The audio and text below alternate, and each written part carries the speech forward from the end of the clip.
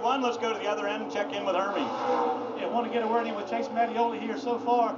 Big pickup for you guys from practice. How you adapted to this truck and this racetrack? Well, you know, it's our first time ever coming to this racetrack, and like a lot of other rookies, you got to be respectful to the lady and give her what you're going to get, you know. And, uh, you know, my guys, Cal Valkyrie and everybody else on the College Complete team, been supportive of me the whole time. I mean, practice was a struggle. I mean, we really had to make sure that we had a car that we could get into the race.